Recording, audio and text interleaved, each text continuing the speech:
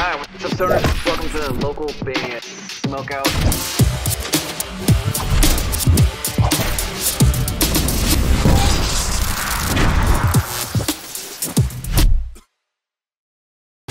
Yo, what's up? We're Triple Fingers from Czechia. We're making new album. You should check that out pretty soon. And you're watching local band Smokeout. Fuck yeah! yeah! What's up, man? There we go. Ladies and gentlemen, mymerchguy.com. Hell yeah! What's happening? How are you, dude? How's the day? Good. Good. Uh, hell of a day. Uh, Explain. Lots of printing. Please introduce yourself. Let me know whereabouts in the world you are. Plug anything, and then explain a normal day in the life of yourself. all right. Well, I'm Andy. I uh, I'm the owner of my merch guy. Um, we're in Northeast Michigan, um, where it's cold a lot of the time. Lots of snow. Um, but yeah, I print merch for bands all over the country, and uh, like you know, bands come from like different countries and come here and, and I'll print for them too. Do you have a lot of international international artists that that contact you as well? Um, not too many. We do like maybe one or two a year. We try to like stay like you know stay within our country just because like shipping is just crazy. I imagine. I imagine. Yeah, it's wild. Like um, one time we shipped like 24 hats to Canada and I think it was like $75 and I was like fuck that. yeah, it, it adds up. How did how long ago Yeah. did you did you start uh my merch guy and and what was the like brainchild idea where you were just like this is what I want to do? So I started in 2016. Um, we actually started with like uh, shot glasses because like nobody else was doing them. Um, and then I branched out to doing T-shirts and everything else, and now like we don't even print shot glasses. Is that does that require like a special kind of printing gear to do like engraving on a glass? I don't know if it's engraving, but like So it started off as like kind of an engraving. It's like this cream that you like put on it. Like basically, what I would do is I would like um, cut out like decals and then put them on the shot glass and then put this uh, cream on it. okay. And then like that would basically tear away at the glass and then I'd pull it off and I would, you know, like wash them all. But like, like they would take forever. Like the time now is not worth it.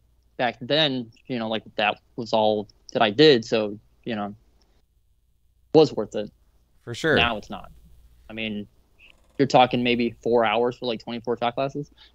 Dang, that is that is- Probably making a dollar shot glass. Like, So you've you've ramped up the revenue heavily for sure. And I know that you guys uh, Oh, yeah. not only endorse us, but you endorse artists. What exactly do you look for when when an artist contacts you and is like, "Hey, I want to like join the team"? so like, um, so I was actually I, I was in and out of different uh like metal bands, like since I was I don't know 13 or 14. What did you play? Um, I I started well okay so I actually started out taking piano lessons when I was 12. Um, then I moved to being a vocalist, which everybody told me I was terrible. Like this was back when I was like 13 and 14. Like you know of course I was fucking terrible. Like you know so, so I'm like all right you know I'm not gonna do that anymore. I picked up uh, guitar did that for a, a couple of years and then um, one time i started it you know started started up something and we didn't have a, a vocalist so i was like i'll do it then i did that for 15 years i think Wow. 15 years. So so again though, how do, how exactly does someone get a hold of you and like what are you looking for regarding an artist that uh wants you know a discount code, a sponsorship, etc.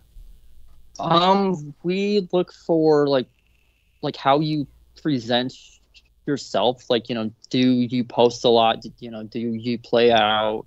Like, we have, you know, bands that they'll place an order like once a month, and like that's awesome. That means you're doing your job. Like, if you're, you know, you're making cash for you know your other, um, like your e- equipment and all that stuff. I mean, you're you're treating it how you're supposed to treat it.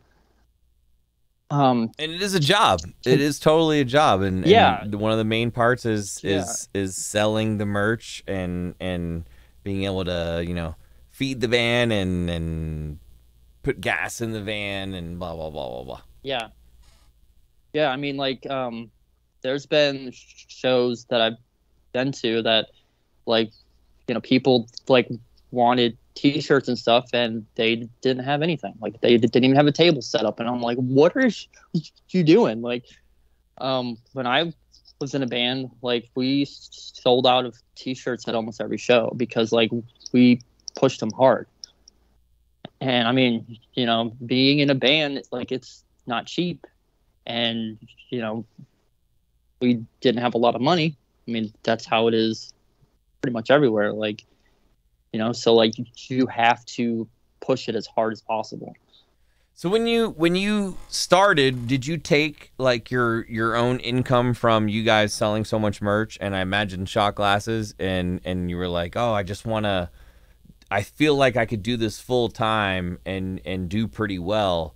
So you took some of that side money and and bought like all the printing equipment to do this or So when I started, I actually started with a Cricut, like a two hundred dollar vinyl cutter Sure. from Joanne Fabrics.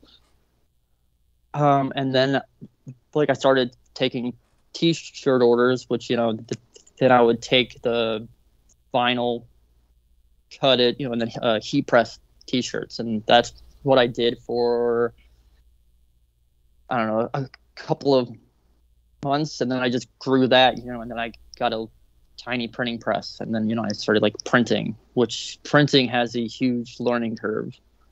Um, you know, like starting out, like now we have two automatic presses, like we have probably a quarter of a million dollars of equipment wow. here. So That is amazing. This is the real deal. We're talking to the real deal right here. I'm Yeah. telling you guys, if you're watching and you and you're playing shows, I say this all the time. But we've worked with a lot of merch companies, and there's no one that has as good of quality for as good of a price as mymerchguy.com. I'm telling you. I'm telling you. And Oh uh, yeah, man, thanks. Like, like you know, you pushing us and other people pushing us like definitely helped with helped us grow. Like, I mean, my goal in 2016 was to like try to like do hundred dollars a day, and like n- now, you know, we'll have five thousand dollar days, ten thousand Wow, dollar days, like, ten thousand dollar days. What? and then we'll have like nothing like you know like it's uh it's like feast or famine like you know I, I hear you. We'll either but, have but huge- ten, a you know. ten thousand dollar day though, you could have a couple down days after that one, I imagine. But for real though, you Oh, yeah. you guys work hard, and you, you t- I'm telling you, it's the best. It's the best. Any, were you prepped ahead of time about the trivia portion of the show? nope Okay, not at all if you're down to do some trivia, we we usually ask that the guest has hot sauce or a beer or something, but the, that, that's not necessarily required. Uh, if you have a water that or or a beverage, that'd be cool too. If I my goal is to stump you on a trivia question, but you get to Okay. pick the trivia. What Okay. movie or TV show have you seen the most? oh god um So if I ask you something about this movie or TV show, which I think a movie is easier because it's hour and a half, two hours versus five seasons, um, right what Let's would, will you not get stumped? let's do uh the movie queen of the damned Amazing film, amazing soundtrack, That's- amazing film. that's actually what got me like started as a vocalist. Like The, sa- watching the soundtrack and, and video and movie for it. yeah, oh yeah, Dude, it's so 100%. good. It's so good, and it and I believe what Jonathan Davis pretty much did the majority of the soundtrack too, right? Yep. So he did it for the the movie, but not like the actual like uh, soundtrack, because his label wouldn't let him like like actually like sing for like the uh the disc, you know, back then. But you're So you're like why, like- fairly familiar with with uh the the soundtrack and how it's like incorporated into Yeah. the film. Yeah, like so if you listen to the actual soundtrack, like you know, one song has Chester Bennington, one has David Draiman, one has Wayne Static, but in the, the actual film, it's all Jonathan Davis. Yeah, I thought that was so interesting. It's almost like two different soundtracks that are like Yeah. you could obtain. That's yeah, like that's uh that's because of his label, like Korn's label. That They said no, so he's like, all right, I'm gonna find like all of the good people from today, you know, like Chester Bennington and Jay Gordon from Orgy and you know all that. I'm getting a history lesson and I love it. But I think I'm gonna stump you right now, Andy. All right. In Queen of the Damned, what season and year was Lestat sired? I don't know. You find this, I'll give you a hint though. You find this out when Jesse begins to read Lestat's journal. Was it 1422? I don't know. It's a great guess, but no, that is incorrect. so if you had hot sauce, you'd be doing the hot sauce right now. I'll, I'll chug a little beer and do some hot sauce for Here. you. But winter. Oh, what do you got? What do you got? Captain Captain Apple. Let's go. Excellent. Cheers. Thanks for being a good sport. There. What so what what genre of music is your favorite? I know we're kind of talking about music and regarding Queen of the Damned, but what do you what do you jam like in your personal time? Work is over, no family stuff. Um like so I grew up with like nu metal, like you know, like Limp Bizkit, Linkin Park and all that. Like so the stuff that, that I like now it like kind of has that like like same like like same uh like feel to it. It's pretty much like today's nu metal. Were you part of the LP Like, um, LPU? Um I don't know what that is. Okay, it was the Linkin Park fan club. I used to be a part of it, so I just Oh, no. for sure. No. But I mean, like, um, like just like like weird stuff too now. Like, uh, um, that uh little Darkies song that was a, uh song that I had to play. Yeah, yeah. like, you know, The- heavy bass and just like weird stuff. Uh, So, do you know do you know Jake Hill? mm, mm. Yo, can I play a song for you? Yeah, let's, let's go. I'm gonna play a song for you. I'm gonna throw. You should be able to see my screen now. Yeah. And then I'm Yeah. gonna jump over here. This is a song we discovered. I don't know, like two weeks ago. Somebody somebody showed me this one, and I can't stop playing it, dude. But I think I think this would be up your alley. But it, but it's it's a it's an MC that incorporates deathcore or like a snippet of it in every song. Okay. But it's 80 90% hip hop the rest of the time. It's unique. Right.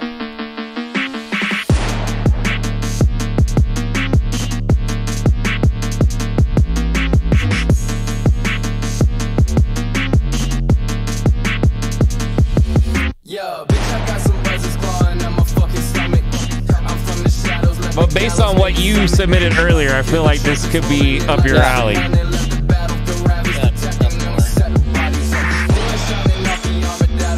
Your death will be glorious. And I'll just kind of skip forwards. With nothing to say.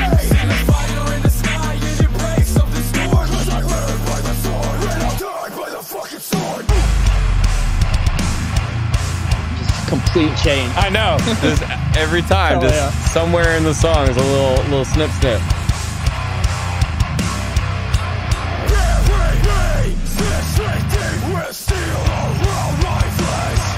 So so beyond 2023 going into 2024 what what do you have mapped out as far as like expanding to take over the world?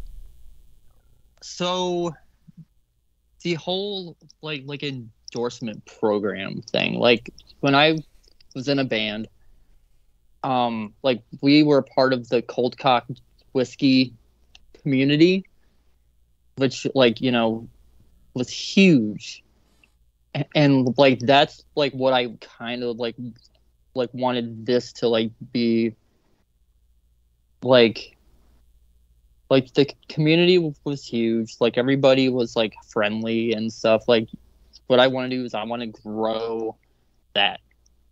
I totally know what you mean. My my old band was actually sponsored So- by, by Cold Cock, so i know Yeah. exactly what you mean. Yeah. We actually have there's actually a cold cock uh flag like over here. That Like- was that was like- Kerry like- king too right? Um i think don't that know. he was one of the original investors from uh from slayer. He might have been. Like what i know is um one of the guys from uh jaegermeister he actually started up cold cock. That's like kind like um trying to think like 2010ish like you know yeah uh, somewhere around there Hey, hey, Jägermeister was huge with like sponsoring other bands and stuff.